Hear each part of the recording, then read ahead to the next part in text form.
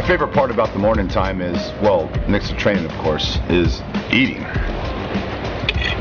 I love to eat.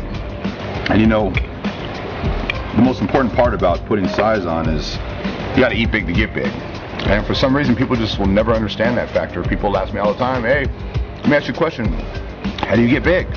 Well, everybody knows the answer. Eat more. Yeah, but I eat, you know, five times a day. Is it working? No. Well, eat more. Six, seven, eight, nine, ten. You got to eat whatever, whatever it takes. You got to do it. So if you got to eat 12 times a day because you have a fast metabolism, then do it. I can eat 12 times a day.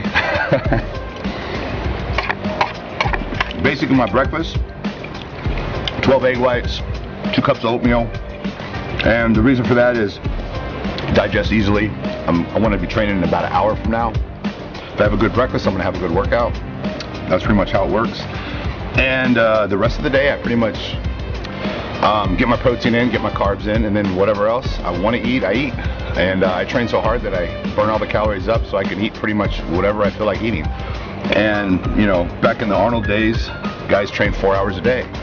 And nowadays, guys train 45 minutes. A lot of guys, a lot of people. You know, there's that whole it's overtraining. You know, uh, you know, you can't train too much, and that's just laziness, pure laziness. Um, I'll hit the gym at least three hours a day, and it's not really because I need to do that. It's because I enjoy doing that. I enjoy working out. It's one of my favorite things in life is just being in there hitting the iron. I love it people on the street will say, God, how, how, do you how do you get the motivation to do that? How do you? Well, it's not motivation. It's what I enjoy. It's what I love. So the guy on the weekends that goes golfing every weekend, he's doing that because he loves it. It's not like he has to get up and you know talk himself into going golfing. That's what he looks forward to every week. That's how it is with me. I look forward to the gym. I love the gym. You know, the gym's the gym's my home. It has been since I was 11 years old. So you got to really love this sport, and in order to put on the size and the mass needed, you have to believe you can do it, and you have to know that you can do it, and you have to want to do it, and you have to love it. It's not going to happen because you're trying to make yourself do it. Trying to make yourself do it, it's not going to happen. You got to love it.